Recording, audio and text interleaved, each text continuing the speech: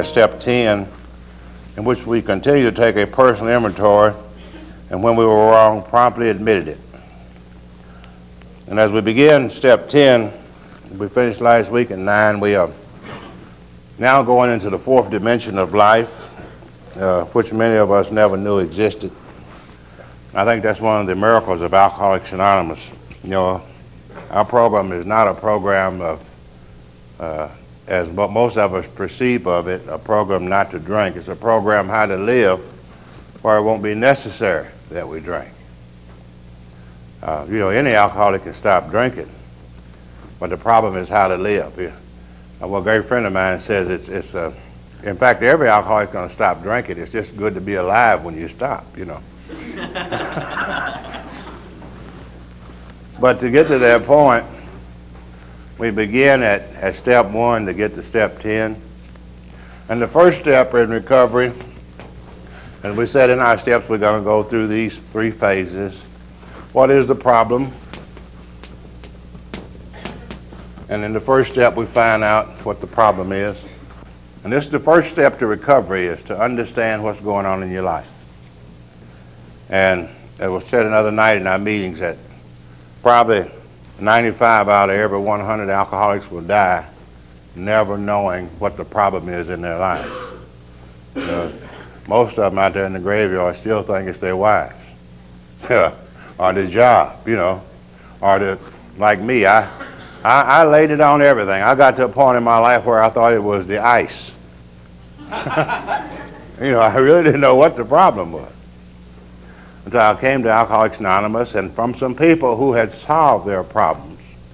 It was from them that they gave me, and they passed this on from the first 40 people on down to me. So I feel very blessed that I, I am an alcoholic. Not only that I am an alcoholic, but I understand what the problem was in my life. And of course, I found out that the problem is simple. It's a twofold problem. Part of it is in my body, and part of it is in my mind. I have a, a allergy to alcohol. Um, that is to say, I have an abnormal, there's an, something, something occurs in me that doesn't occur in the average temperate drinker. When I take an when I take a drink of alcohol, I experience a phenomenon of crave. I crave alcohol. Once I take a drink, I crave alcohol, and immediately I want another drink, and that drink wants another drink, and that drink wants another drink, and another drink. And that's abnormal. Normal people don't do that. They, they may or may not take another one. Uh, most of them take one, and then they'll shake it and walk around for a while, and that's the normal way to drink. But I never did drink that way. I was an abnormal drinker. And they would walk around and they may or may not take another drink. And if they drank two or three real quick like me, they would get sick and vomit. Know, they couldn't handle it that way. And I remember those normal drinkers, they used to always tell me, just take two or three and stop. Well, it's okay if you know how to do that. They was trying to tell me to do something that I didn't understand. When I come to Alcoholics Anonymous, I realize that I, am an abnormal, something occurs in my body physical allergy that does not occur in the average temperate drinker. And once I take a drink, I experience this craving, and I continue to drink, and I go through the well-known spree. And I emerge remorseful with a firm resolution. Quite naturally, anybody would. It would be firm. If you got sick as we would, you would have a resolution not to drink again. You know, that's probably a good symptom of alcoholism. Anybody who says, I'm not going to ever drink anything at it again, he's probably an alcoholic. Now, the only thing that we suggest here is entire abstinence. If you don't take the first drink, you don't have, never have to experience this. And this is real simple. Now, this is just half of my problem. The, the fact that I can't drink alcohol is just part of my problem. The main problem of the alcoholic sinner is in his mind rather than the body. Why do we take the first drink? Anyway. And he says we become restless and irritable and discontent. We become lonely and then we get bored and, and uh, we have all these different emotional things that seem to build up on us. And once these things build up on us, we, we, we, we remember the sense and ease and comfort that would come at once if we take a few drinks of alcohol. So, this, is this idea is triggered, this obsession is triggered. The obsession, the idea to drink and depress this pain, overcomes all other ideas. It overcomes the remembrance of the, of the last drinking occasions. It pushes this back into our minds. And then the only, only thing that we can see is, is think about the relief we're going to get. And this obsession makes us reach over and take a drink, and that drink sends off the craving in the body, and we go through the well-known spree. And Dr. Doctor said in the first step that this, is, this thing goes over and over again. And unless we can see and understand the problem, we're a victim of, of this condition. The mind triggering the body, and the body in reverse triggering the mind. But once we, we, we understand these two factors of the physical problem and the mental obsession, the physical allergy and the mental obsession, when we understand and see these things, we realize that we are powerless over alcohol. We can't drink it, and we can't leave it alone. Therefore, we're powerless. So once we see the problem, then we can determine a solution. Simple process. Write the prescription. Once the doctor uh, identifies, he makes a diagnosis, then he writes a prescription. If you're powerless, your prescription is power. Power greater than yourself, obviously. And you would like for this power, since we can't work in the body, we don't know anything about the allergy. We believe that the power would have to work in the mind. Therefore, came to believe that a power greater than ourselves could restore us to sanity. So, really, the first two steps, we, we have the foundation. We got the two conclusions that put us in a position for the treatment plan. You know, we got the, you know, got the problem, we got the answer. Now we got to carry out the plan of action. And the next thing it comes to is the if you're powerless and the solution is power, then steps 3 through 12 is a plan how to find that power. And we begin in step 3 with this little program of plan, program of action. Because there's no action in these two steps. The action begins in these next working steps of the program. We begin in step three. Step three says make a decision. Which one do we want? And quite obviously, I think, you know, it's a real easy decision between these two. Uh, we don't want to go back to this way. No alcoholic likes this. And uh, really, most alcoholics, if you're new in the program, they don't like the solution. I mean, it's pretty, you know, but it's not a tough decision between the two. I'm thinking everybody, if they could get the first two steps, would choose the second step. They would choose the power. If we make this choice, then this decision involves, uh, we, we choose this, and if we do this, we have to, uh, to, in order to have this power, if God's going to direct our lives, there are certain things that we have to get self out of the way.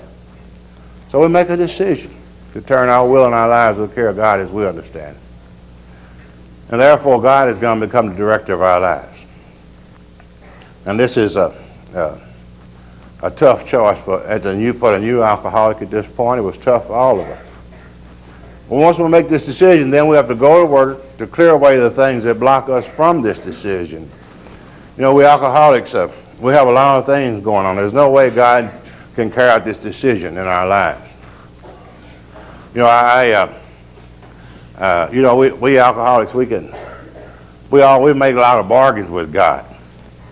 You know, I used to say, God, if you do this, I'll do that. You know, but I never really made this decision. I, I made a lot of deals with him, and I told him what I was going to do and all these different things. And nothing ever did happen in my life. You know, these, these things did not work. So I think this brings to mind one of my favorite stories. This is quite a spiritual story. But this guy was out one morning. He was out. Uh, he had he somewhat had changed his life and got into helping people and in the in the in the big big book. And he had going around talking to people. and he had, uh, but he liked to play golf occasionally, and he was out with one of his friends playing golf one day, and uh, he hit the ball and it kind of curved and run over in the water, and before he could catch himself, he said, "Oh shit!" and this other guy said, "Reverend, I, I have never heard you say anything like that." He said, "That's just not like you." He said, "Well," he said, "that comes from my old life." Uh, when I, and then when I played golf, and I just I just never been able to, I, I wouldn't say nothing like that, except when I'm playing golf. I have a problem with it. He said, well, I'd be careful with that because it's lightning and thundering out here, and I think, I'm just scared out here with you talking like that and the lightning and thunder. so they played on down a little further, and he hit another ball. And it curved and went over the He said, oh, shit. And he said, oh, man, don't say that. He said, I'm scared out here. It's lightning and thunder and something might strike you.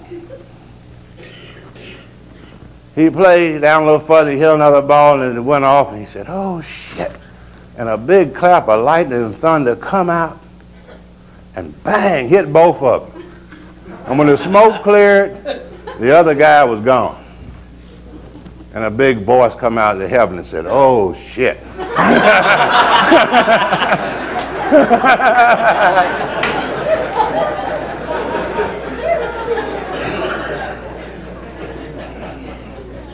but you know what?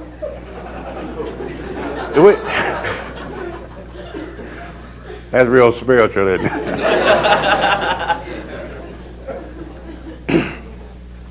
but when we uh, we look at these two alternatives, and you know, how can we we have to start off where we are in this program, you know, experimenting, we came to believe. And we come to believe, we start using our concept of God. You know, it's an experience. You know, it's an, you know, we don't use our, we use whatever understanding we are to begin to grow. It's something it's that we have to experience. And we begin at step three, and to carry this out, we, are, we really are blocked off from God. Maybe that's sometimes we really we're agnostic, we think maybe God does or does not exist. Because in our total being, in our way of living, we, we feel that there is no God. Because we have totally, the things within us have totally blocked us off from any use of this thing. So to us, this, way it, this is the way it appears.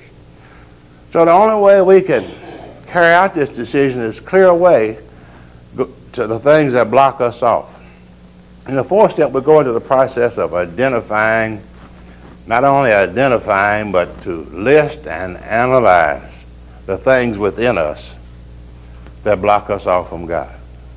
You know, the number one thing we talked about in step four, we found out that resentments was the number one offender. There's no way that God can work through and direct a mind that's full of resentment.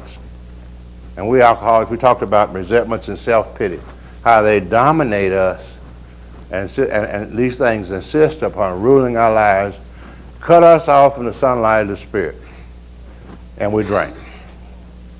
So in step four, we, we finally got all this garbage down on paper. We got our resentments down. We got down the causes of them. We got down which parts of self was involved. We identified what within our character that really allowed these things to come in. It wasn't what other people did. It was how we reacted to what we have. We cannot control other people. But if we are spiritually well, then what we will not react to what they do. And they will not enter and dominate our lives. And we went for the first time, we listed and went through these things and analyzed and, and saw the real, as the word says, a moral inventory. We saw the real truth of these things in our lives for the first time. And then in step five, we talk to another human being about them.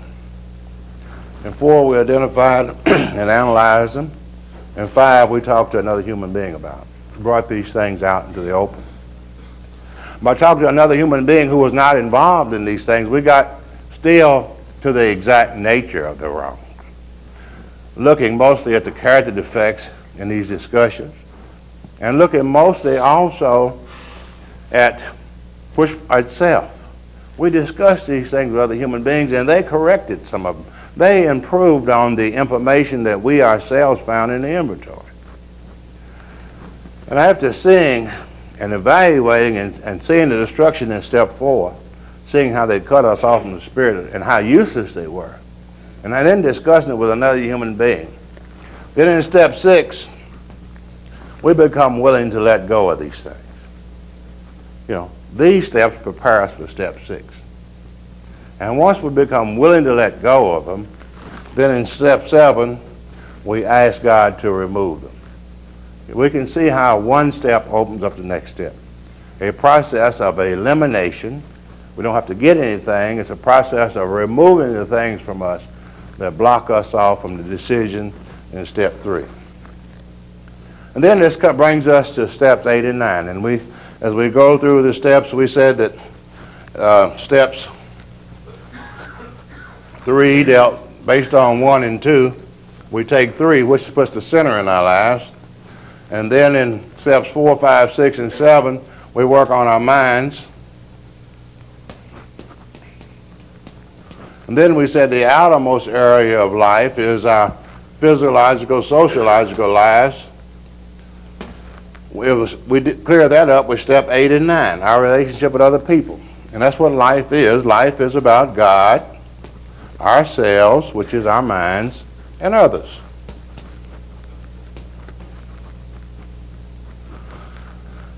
And once we make these amends, set right the wrongs, and our, our book tells us in step eight, we make a list.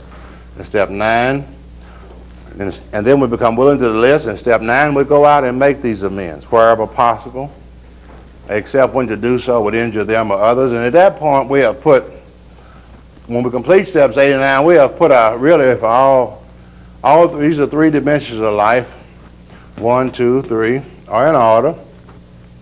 And then we know twice in the big book he talks about a fourth dimension of existence. And, and we have the tools to live by the tools for successful living. And I think, you know, we talk too much around Alcoholics Anonymous about not drinking. And we should talk about being successful in our careers, in, our, in everything we financially, in everything we do. We should talk about the, those things in Alcoholics Anonymous. You know, they, they're beyond your imagination. If you knew here tonight, you know, I know how you feel. Oh, I got to go down there. I got to stop drinking. I ain't going to never have no more fun.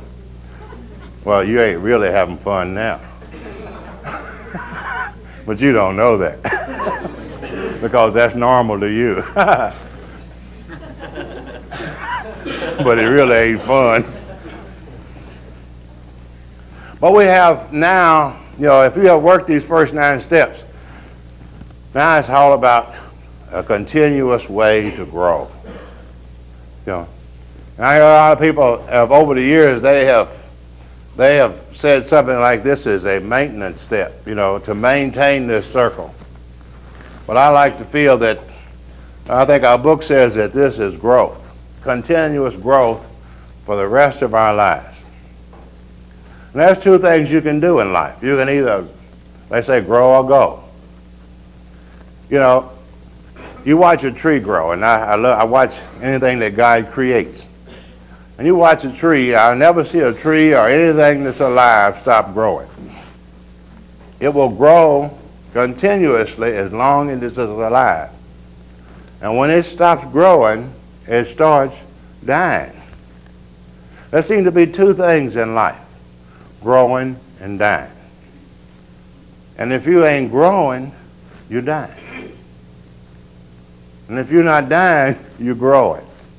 So we that's about you just really can't maintain as is. You can't maintain anything. We see a piece of steel, and we see you know or something or uh, made out of concrete or marble, and we go by and look at it, and and we could, it looks like it's in a permanent state, but it's really deteriorating. It's getting. no. you might not see the complete deterioration, but just like this building, we can spend a lot of money maintaining this building, which we do. And regardless of how much we spend, one of these days, something else is going to be here. They're going to tear it down. And we can't maintain anything like the human life. The human life is a very complicated We are the most complicated, We've got God's greatest creation. Now, we marvel at the rockets, we marvel at all the things that man creates, but we are the greatest gadget on the face of this earth. There is nothing as marvelous as we are. We have a fantastic mind, fantastic body. You know. Now, so life is unlimited. Once we learn the principles of living, and basically we've learned this in the first nine steps. Now it's how to go on and, and how to grow for the rest of our lives. There really isn't anything really. If these nine steps have, have uh, developed our, our lives at this point, then these are probably going to be, these are, there's not anything going to be really new here from now on out. The other growth is going to come by our ability to reapply these steps to our lives.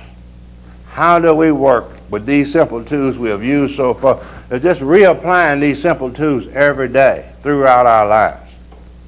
And step 10 is it teaches us how to do that. Now, after we've finished the promises and the promises we read, and after the promises, after the uh, talks about all the great things, you know, after the first nine steps, no matter how far down the scale we've gone, we'll see that we can, our experience can benefit others. It talks about we will comprehend the word serenity and we will know peace. We will have a new freedom. All these promises come after the first nine steps. After we have those promises, our book says this step brings this brings us to step 10.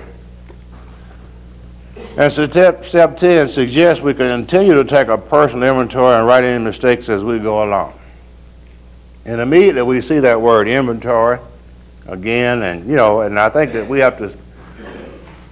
It says, and we took one inventory in step four, and it, it was had some adjectives on it it says a searching and fearless moral inventory of ourselves. And now, here in step 10, he talks about a personal inventory. That means an inventory of a total person. And if we have worked these nine steps and learned the, the principles of, of human life, then we can see what a personal inventory details. A personal inventory would be an inventory of the total person. It will be an inventory of every facet of the human life. It would be an inventory of our spiritual well being. It would be an inventory of our minds each day. It would be an inventory of our relationship with other people on a daily basis. Now, you know, you, if we, you know, one thing about taking the steps, we always talk about the mistake of, of taking the, the steps. A lot of people try to take the, the AA program off the wall. You know, you, they, they got the big book, and this is fine. This is a great thing to take the program out of the book.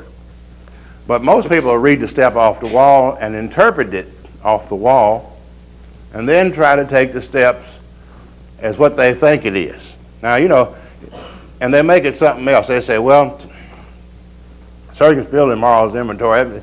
But we get the idea that really means to just before you go to bed at night, uh, if you hurt anybody, or say a prayer about it, uh, do something. That's what I don't know. That, that, that seems to be the impression you get at step 10 off the wall. You know, it's one thing off the wall, but if you read it in the book, it's all together off the wall. Now, step you know, I really, I look at that, I look at that step, and it means just before you go to bed. If that was the case, uh, that would help me a lot because I'm getting to the age now where I don't get in a lot of trouble in the bed anymore. Most of my trouble, most of my trouble is in, the, in walking around. You know, I, I really, I don't hurt too many people or get in squabbles in the bed. I was dangerous walking around in the daytime. You know what I mean? That's when I got into trouble. So it wouldn't, what's the advantage of straightening up everything, jumping in the bed? This is a positive step. It's a step that we work throughout each day. If we work it as the big books, if we read it out of the big book, we'll find out it's altogether different than we interpret it. And this is why all we always say, work the steps out of the book. The big book, of Alcoholics Anonymous, is the only book that gives us the instructions to take the 12 steps. Now, why should we take it off the wall and leave the instructions in the book? You mean? If we read it out of the book, it means say something different. We vigorously commence this way of living as we have cleaned up the past. We have cleaned up these things as best we can. They're not perfect, but for the first time we got them into some, it says that it in a few months. You know, we, we will find that we have gone gone some personality changes sufficient to recover. It didn't say that we perfect. But it says we don't we should lose the obsession to drink here. We got things rounded up pretty good. But I remember when I come to this place, I remember when I had the promises in my life. Felt better than I ever felt in my life. God, man.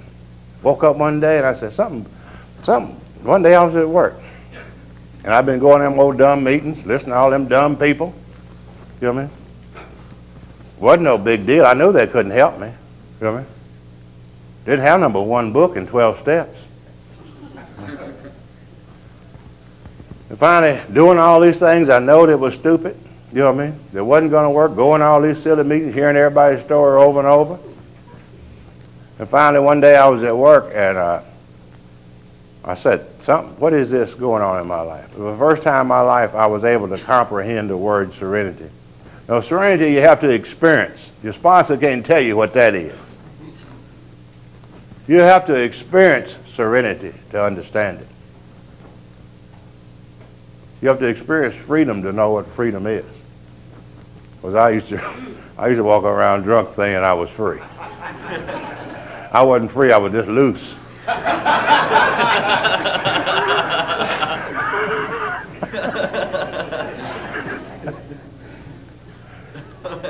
so, And it dawned on me that for the first time in my life, I was I, something, I didn't know what it was. I, I couldn't, but this was the, these promises described it. You know, but nothing else described it no better than this. And it was the first time in my life I was able to experience this, as I know, this new freedom and this new happiness. And I could comprehend the word serenity, and I knew peace for the first time in my life. And I associated this feeling with serenity. And at that moment, for the first time, I was able to comprehend the word serenity. And I had, I said, what is this? I don't, it's going, I, I don't want to drink. And I, I couldn't, I, I don't know when this happened. Over this period of time, is what the book said, through following these steps, through this process, the obsession to drink was removed. It talks about it here, and he says we go on. We have entered the world of spirit. Remember, step two said, came to believe. Then Apollo Gray, then we disbelieved, and they said we took decisions, we took the actions. After step five, it says this was the beginning of, we are entering the spiritual experience. This is the beginning. And step 10 says, after we finish nine, we have entered the world of the Spirit. Now, uh, this is not, is not overnight matter. We should continue for a lifetime. And we in Alcoholics Anonymous, we have a lifetime program. Continue to watch for selfishness, dishonesty, resentment, and fear. As you know, as we took the inventory, in what step, you know, what step did we do what step did we look for those selfishness, dishonesty, resentment, and fear? And what step did we look for those things? Somebody. Step four. So in step four, that's where we started that process. Looking for those things. Selfishness and dishonesty were our character defects. Resentment and fear were the things that blocked us off from God. We did, so it says continue, really what he's saying, continue each day to take step forward. When they crop up, we ask God at once to remove them. What steps did we do that in? Step six and seven. Step six and seven. So step 10 is step four and step six and seven. We discuss them with someone immediately. Step five. So step 10 is four, five, six, and seven so far. Then we make amends quickly if we've harmed anybody. 89. So steps 10 is a, a, working. We don't have to go back and make that decision. But each day we go back from that decision and work out in these two areas. And we can really, you know, this we can see the possibilities of these steps. We ain't talking about maintaining. We're not talking about staying as you are. You know, we can challenge anybody in the room tonight to work these, these nine steps and go back each day and work steps four through nine in your life and remain exactly as you are. totally impossible. Because as you work these steps over, as you take step four every day, you're going to discover other things in your life. And you know, as you talk them over to other people, you're going to learn more about yourself. And as you ask God to remove them, they're going to become less and less. And as you make amends, you're going to improve your relationship with other people. You're going to improve your mind. And you improve relationship with other people. And you're going to remove more things out of these two areas that block you off from spiritual growth. And you're going to, and you're going to grow spiritually, and your life is going to get better.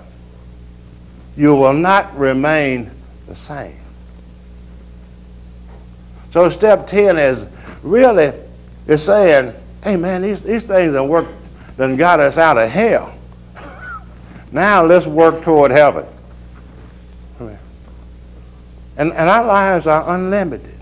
But they're still yet limited to what we want to do. I think the greatest waste of the program of Alcoholics Anonymous is maybe not the people out there who are still drinking. We always say they're going to die, right? But the greatest waste of Alcoholics Anonymous is those of us up in the program who are not finding these things. Come We're coming in and not drinking and talking about how long I've been sober. we see them around there, eh?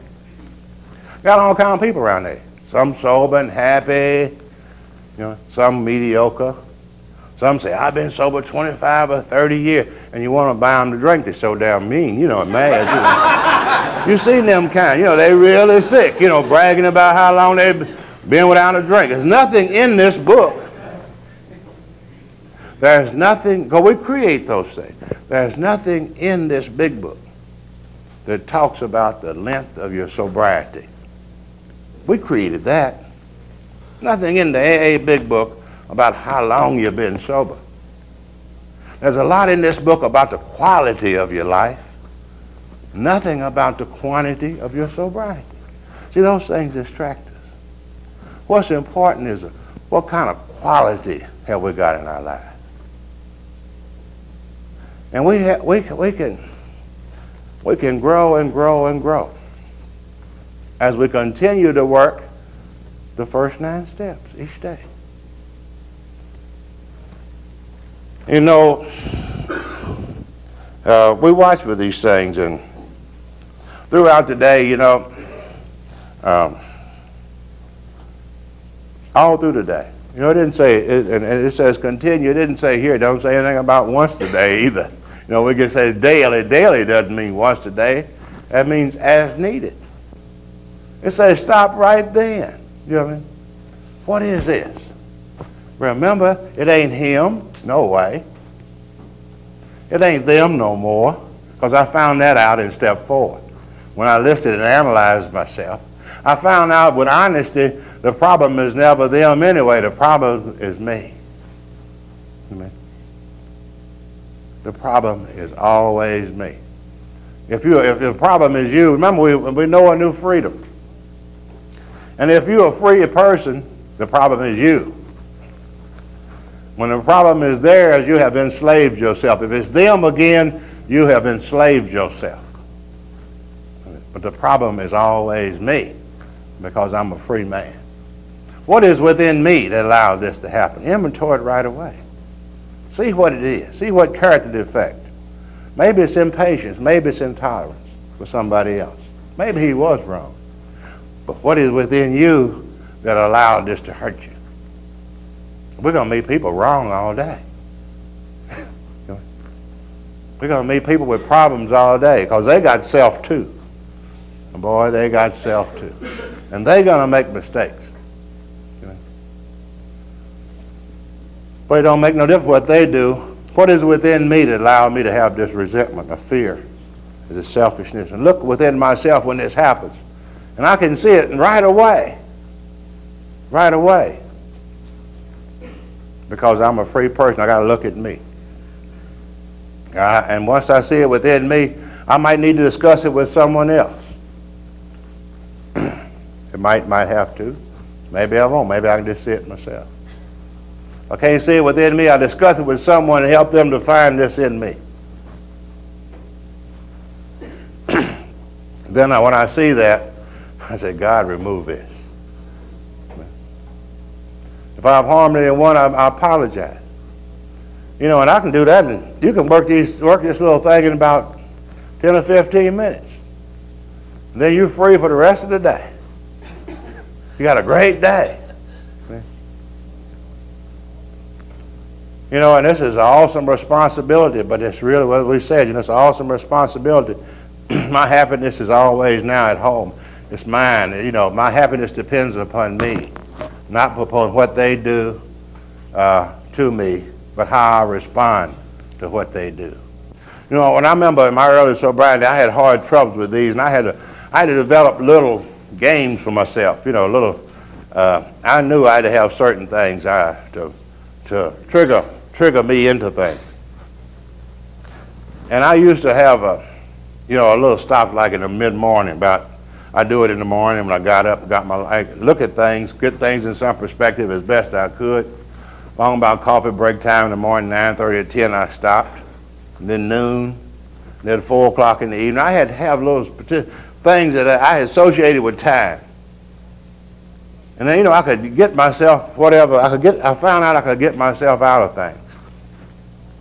And my life didn't get so balled up. If I went, if I did it once a day, I'd, I'd be in hell of a shape. I found I had to straighten my life out about every three or four hours. I had to bring it, get it, get it straightened out. And it seemed like I wasn't getting any better. I'd get myself out of something in the morning, and about three hours or noon, I'd say, hell, that's what we got out of this morning. You know what I mean? And I seen how flaky I really was. You know what I mean? And, and my wife used to tell me sometime, you know, I'd do something. She said, I don't think you get no better. I said, I said the same damn thing. I ain't getting no better. I agreed with her. but the more I would do this, the more I learned about me. You know what I mean? I took this is inventory, personal inventory. Learned about the business I was running. Learned about the stock in trade. And the more I talk these things over with other people, you know, and it, it really got me, I got an ego. We all got an ego. And I was always going to my sponsor, and I'd talk these things, and, and then this got me. I said, damn, man, you know, this is, you, you're going to be talking to people the rest of your life. Ain't you going to never have no life? Three or four, five, six months, I'm going down. Yeah, I got this. Then I said, but look, if you would watch yourself a little more. Maybe you could catch these things earlier and you could deal with them before they got that bad. You have to grow. You can't go to your sponsor for the rest of your life. Now, once we have uh, begin to learn this and begin to apply it to our lives, you know, as these character defects become less and less, other things begin to crop up you know, a lot of things we know we would take our inventory in the beginning and got some things we're willing to let go of. And uh, it, it's painful to let go of these things because, you know, these character defects, some of them, a lot of them are fun. you know, a lot of them are fun. You know, th- little things like criticism. You know, we all like that. We like to criticize another. You know, criticism, it seems to be, a, it just goes around, you know. And uh, it's, a, it's a put down of another person, pointing out his weaknesses to build up my own self-esteem, maybe I don't do that, right? Uh, and we all enjoy that. Some of these things are enjoyable.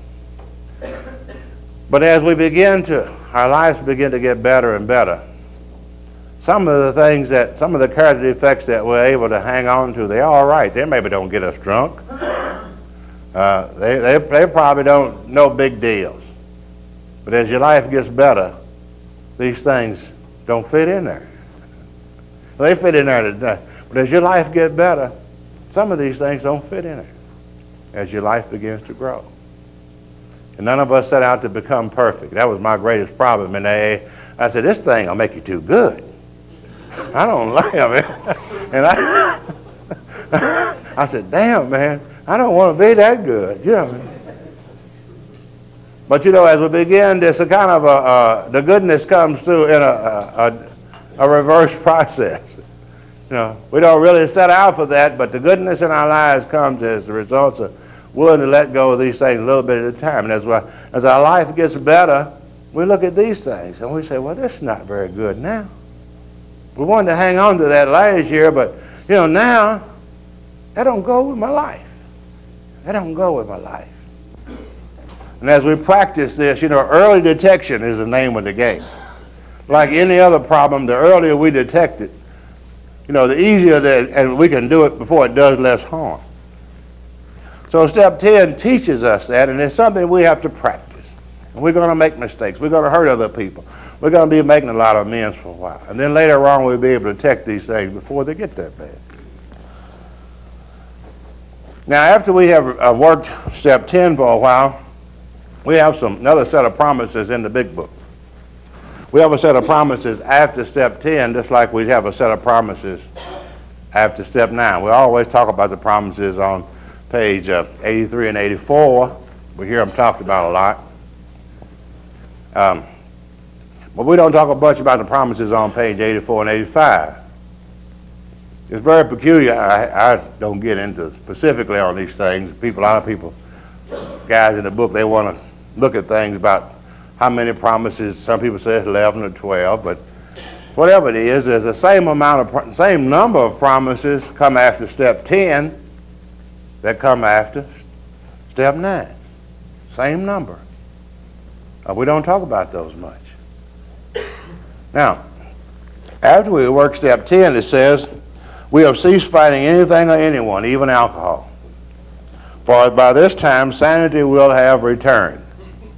Remember, we came to believe that a power greater than ourselves could restore us to sanity. Sanity has returned. Sanity has returned. It came home. We're whole. A little peace came back. A little peace that I had where I couldn't make sane decisions about alcohol came back. After it comes back, look what happens. We will be seldom interested in liquor. If tempted, we will call from it like a hot flame we will react sanely when restored to sanity and normally. We will see that this has happened automatically. We will see that our new attitude toward liquor had been given us, had been given, been given to us. With, without any thought or effort on our part. We didn't, we didn't work at this. What we did, we worked for something else. It just comes. That is the miracle of it. We're not fighting it, neither are we avoiding temptation.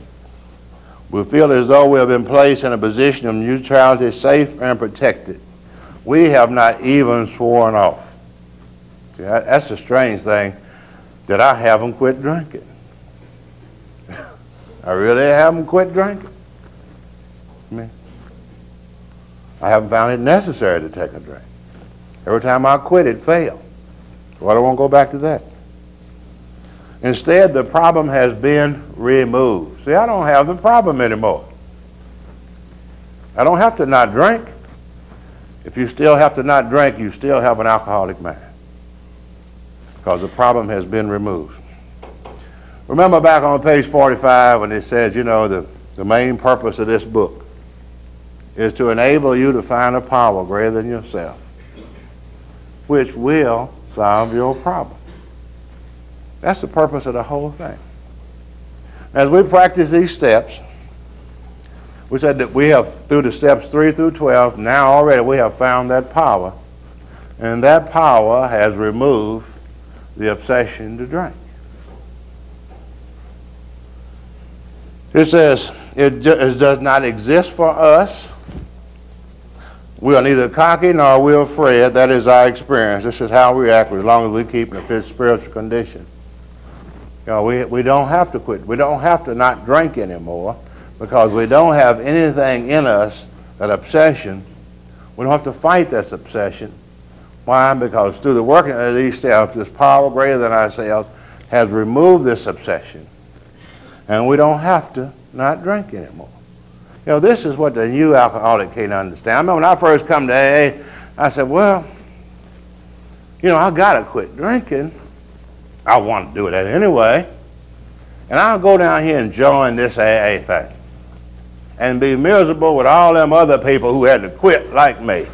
Know, that's what I thought about it. You know, I thought maybe, you know, we sat around and talked about, boo, we can't drink. But we don't have the problem. If you're a new person, you know, if you didn't have this obsession, you know, now I can make sane decisions about drinking. Over the last, last uh, 24 years, I've never walked in a liquor store and, and uh, bought a drink. Never walked in a liquor store. Last, I've, had been able to make sane decisions about alcohol. One time in my life, I'd walk right in there and buy the same damn thing, thing that killed me three weeks ago. See? But I've been restored to sanity. I don't walk in there and say, hey, mister, I drank some of that 24 years ago like the damn near killed me, put me in a nut house, lost my job, lost my wife, lost everything I own. Now, how much would you sell me another bottle of that? I want to buy some more. I would have to be insane to do that. And I look at I have been restored to sanity. I look at it from a sane. And you really don't have to be a genius. A lot of times, a friend of mine said, you don't have to be a genius to stay sober. You don't have to be a, you don't have to have a master's degree to stay sober. You know what I mean? You don't have to have a college education. All you need is good common sense. That's all. Anytime an alcoholic picks up a drink, at that moment he does not have good common. And that's what sanity. We have been restored to where I have good common sense toward alcohol. Now, it, this is a as we, we, we continue to work this throughout each day. And, and the degree of our progress really is, it's up to an individual. That's why we can't, all of us are individual people, individual personalities, individual problems. We can't compare ourselves, but it's based on what you do. It's based on how much work you put in.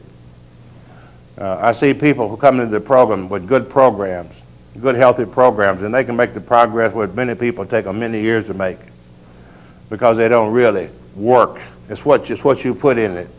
It's the work on the individual basis. It has nothing to do with time. You can't compare yourself. So what the work, how do you work on yourself? He says it's easy to let up on a spiritual program of action and rest on our laurels. For we're headed trouble for alcohol is a subtle foe. It's really hard, it's easy to work when you're new in the program. But sometimes most of us get real, get this thing off of our back and get all the things going good and and you know how we alcoholics like to do when we make success. Um, like the guy said, it's like the alcoholic dog when he got so when alcoholic flea when he got sober, he went and bought a whole dog, you know, his own dog. you know, we you know we get when we get sober, we you know we we we one of the greatest, greatest fallacies is one of the greatest defeat things that defeats the, the, the fourth dimension is sobriety itself.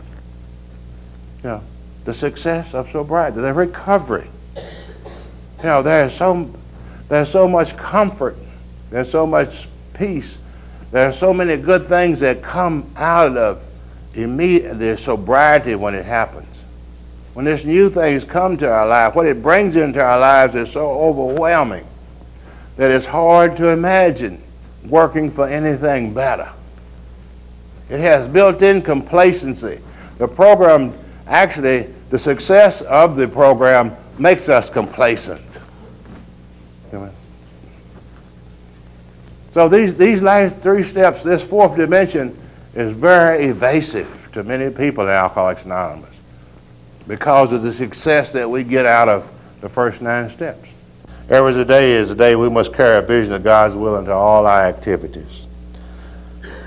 How can I best serve thee? Thy will, not mine, be done. These thoughts must go with us constantly. We can exercise our willpower along this line all we wish. It is a proper use of the will.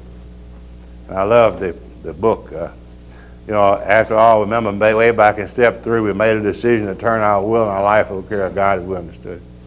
And we went through all these steps. And we come to this point, you know, God gives us our will back on this page. He said, I'm going to give you your will back. And he tells us how to apply it. He says, you can exercise your willpower. You know, you can exercise your willpower here all you want. And I think, you know, this is a, this is a proper use of the will. Uh, if we work at this constantly, and we, we, we should, this is one area that, uh, you know, our spiritual life, our spiritual development, this is where we should exercise our will along that line. We should work at that constantly each day because we really see that this is the foundation of our life. Now, you know, I love, uh, I love the preciseness of how the book is written. I always notice this. Each time I go through the book, I think, see, where Bill gives us, the book right here, Bill said, I'm going to give them their will back on page 85 after all this work. But it's so precise and so beautifully written. He gives us our will back on 85, but he gives us our sanity back on 84. You know, it would be dangerous to get your will back before you got your sanity. so, now that we have worked these steps, we have worked the spiritual step, worked on our minds, our relationship to other people. And over here we have started 10, which is uh, actually working in all three of these areas for a period of time. In step three, as we begin, we made a decision to turn our will and our lives to the care of God. And then through working to these steps, four, five, six, and seven, eight, and nine, and even 10, we worked on these circles. We worked on clearing away the things that blocked us off, and God has become into our lives. So this thing is, now we come to step 11. And actually, this is the bridge. These, these two steps are the, are the real uh, pillars of the bridge. And it's all in step three, we've made a decision to turn over our will. In steps four, five, six, and seven, eight, and nine, we cleared away the things, and even ten, we cleared away the things that blocked us from God. And if we have worked the first 10 steps, they can bring us to the real power of the whole program, which is step 11. The decision and the action was all about finding God. Now, we have a two. We have been given these 10 steps has given us a two. Through prayer and meditation, we can now receive God's directions into our life. So the whole thing is based on the turning over the directions, and 11 is now the receiving of His direction, the changing of directions in human life. The turning over of our directions, the clearing out with the other steps, and now we can receive God's directions. And if we have worked these 10 steps, it brings us to the ultimate two as we learn to apply that step in our lives through prayer meditation and step 11, we receive God's directions in our life. And next week, we'll go into step 11.